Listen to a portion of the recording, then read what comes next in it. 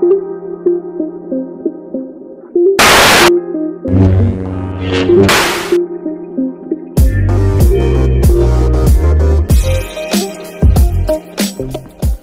dobrodošli u novi motovlog. Evo ga Kimko. Malo je on tu zapušten. Ali sad ćemo mi njega da osposobimo veoma brzo za vožnju. Jer uskoro pada mrak. A ja treba da se vratim kući pre mraka. A pritom idemo za grad. Tako da... Ono... Mrak bi trebalo padne za sat vremena. Još nije onaj golden hour. Tako da imamo vremena. Ali veoma malo vremena. Inače ovaci rade super stvar. Ne za prezimljavanje motora, već za e, zaštititi motor od smrdi buba. Da, smrdi buba, dobro ste me čuli. Ali da više ne bi kenjao, aj vidimo se mi u vožnji. I dobrodošli u novi motovlog. Vjerovatno ste mislili da će biti neki novi studio build. Jer je vreme bilo iskreno ono govno teško. I ja sam također tako mislio, ali evo iznadilo nas ovo sunce, ovo lepo vreme.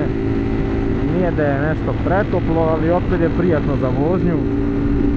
Naravno sve dok ne padne mrak.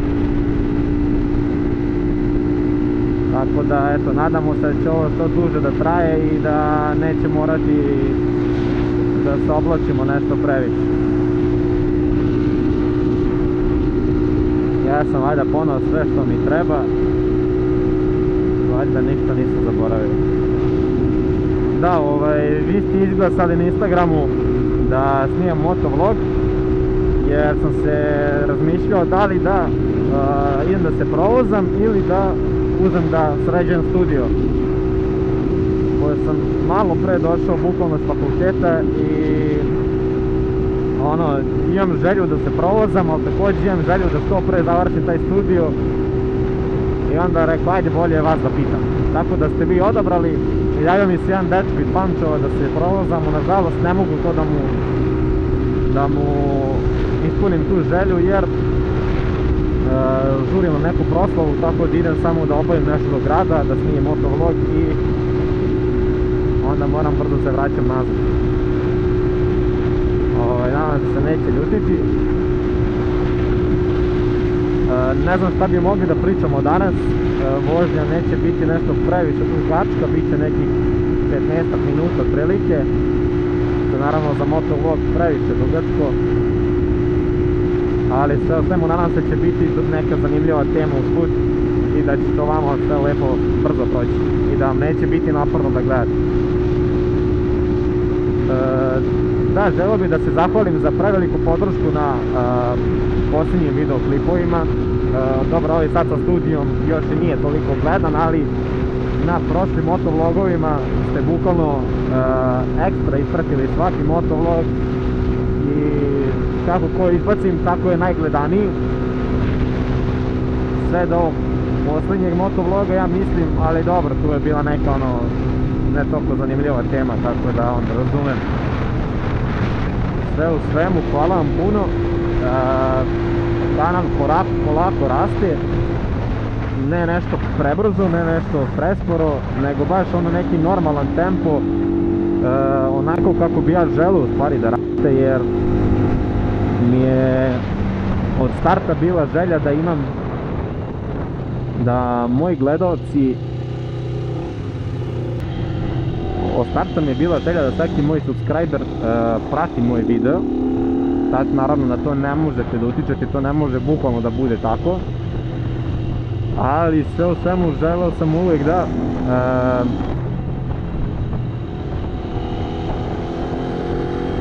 da imam uvijek jednak broj subscribera i pregleda. Čak mi je draže da imam veći broj pregleda od subscribera jer onda znam da da makar ti ljudi koji prate i dalje to gledaju i da još na to dolaze novi ljudi i oni će posle vremenom da subscribe-uju Tako da eto, to je neko moja logika i mislim da je mnogo to bolje nego da imam, ne znam, 1000 subscribera, da imam 20 pregleda. Mislim da to stvarno nema poenta, onda ni moje snimanje, bilo šta drugo.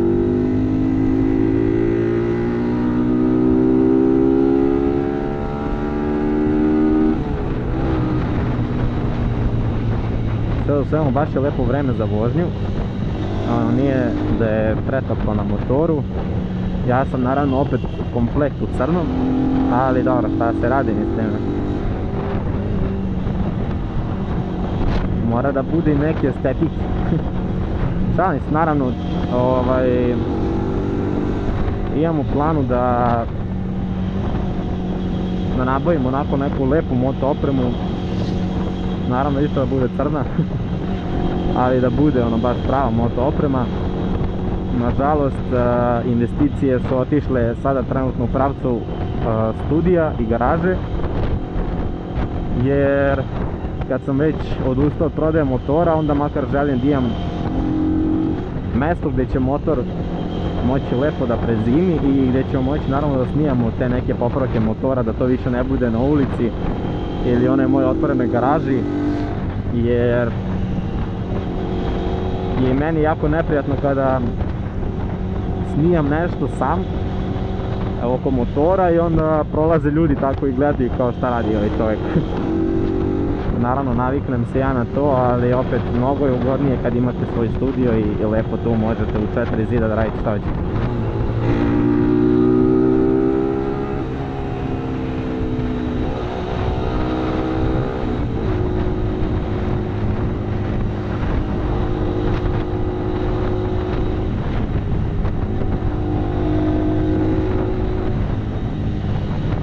Dok sad vozimo možete da stisnete to subscribe dugme. E, procenat vas koji gledaju a nije subscribe je opao tako da eto to biste jednostavno gledali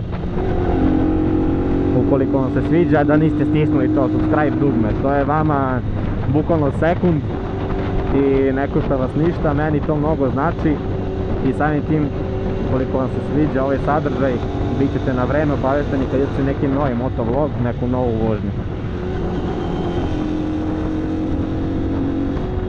E, mogu bi da pričam šta imam u planu sa za dalje, ovaj, tačnije preko zime sa kanalom. Iskreno, kako je krenulo ono hladno vreme, par dana, pao sam u bedak jer sam želeo da što više materijala snim i onda da imam da izbacujem tokom zime. E, što najgore, ja sam snimio dosta materijala i sami znate da sam izbacivo ponedljak petak i onda kad sam nakupio dosta materijala ovaj onda sam uradio jednu jako glupu stvar i izbacivo sam video izbacivo sam video tri puta nedeljno jer samo to da gledalci ne mogu jedan da dočekaju novi video, već i mi koji izbacujemo video ne možemo da dočekamo da ih izbacimo jer želimo da vidimo kako će to izgledati, kako ćete vi to ispratiti i sve ostalo. Tako da ovaj, sam tu napravio glupost i i i i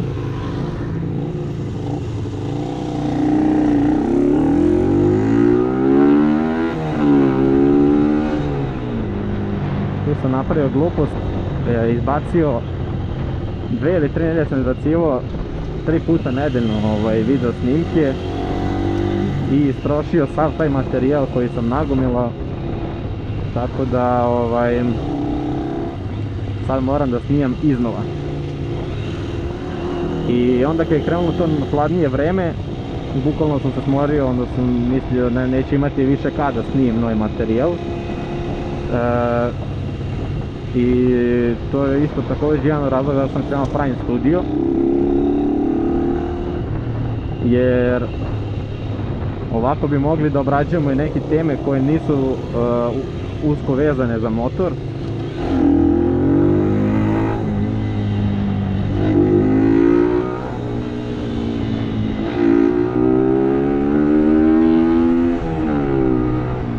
E, mogli da obrađujemo teme koje nisu usko vezane za motor već bi mogli da pričamo na primjer o counter steeringu ili, dobro sad ne baš o njemu jer o njemu su skoro svi motovlogeri pričali, ali o tako nekim tehničkim stvarima što možda interesuje neke početnike. A da mogu ja da ih objasnim.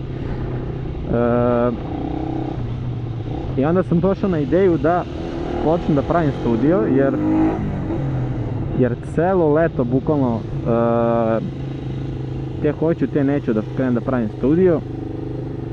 I naravno celo leto sam mogao da se vozim i jednostavno me nije bilo briga e, za to gde će motor prezimiti. Tačnije nisam bio ni siguran da li ću zadržati motor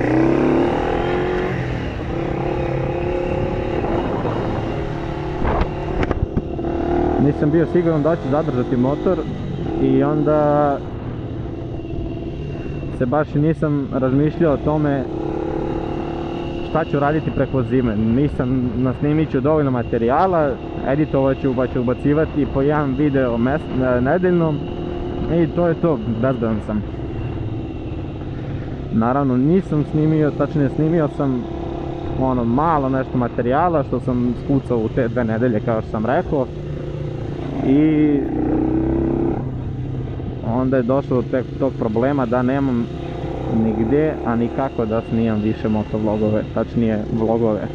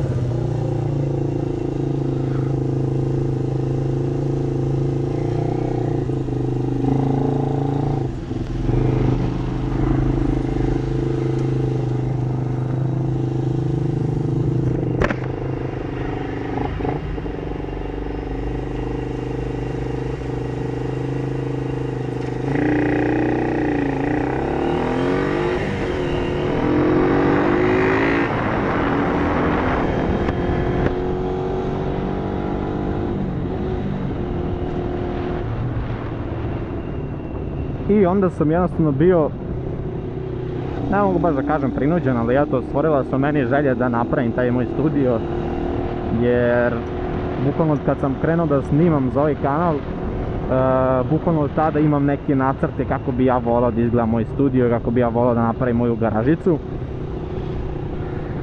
I jednostavno sad kada nemam baš toliko obaveza oko fakulteta ovaj, sad se jednostavno ukazala prilika da mogu to da ostvarim. E, također se potrefilo da imam neki višak materijala kod kuće i da to mogu da krenem čak i sam da radim.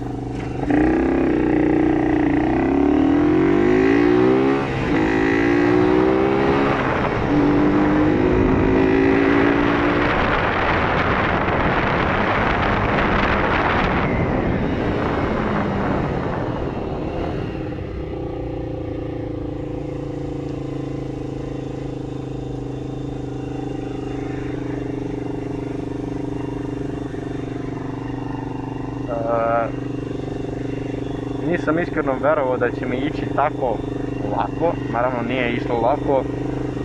U početku je jako teško jer ukoliko nemate jako jasno nacrtan projekat i ukoliko radite sve ovaj, postepeno, bukvalno kao što sam napisao od nule, e, nemate jasan projekat e, šta je koliko, gdje, kako će to da stoji, nego jednostavno idete redom nekom logikom praviti. Onda nije baš možda jednostavno ukoliko nemate taj jasnu sliku u glavi. Naravno to, ja se izvinjam ako me niste čuli, ovaj, početku uopšte nije bilo lako zato što nisam imao, to jest nemam i dalje ovaj projekat, neki nacrt toga kolika treba, koliko treba šta da bude. Ali sve u svemu, ovaj, što, što više radim na samoj garaži,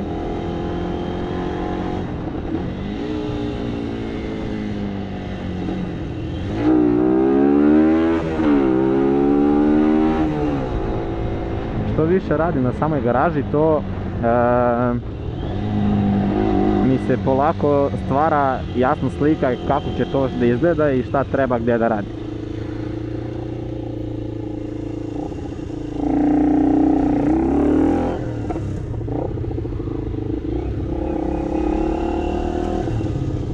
Tako da kontam da je najbitnije samo da se krene pogotovo kad imate sve preduslove da, uradite tako nešto nema potrebe za strahom već jednostavno krenete pa dokle stignete, stignete. I meni će biti to najdrža garaža kako god ona ispala jer sam je ja pravio mislim. Nisam pozvao majstore i rekao da mi to naprave već sam ja to sam sa svojih deset prstiju što bi se reklo napravio. To je bilo to za ovaj video. Nadam se da vam se svideo. Mi se vidimo u nekom sljedećem. A do tada znate već.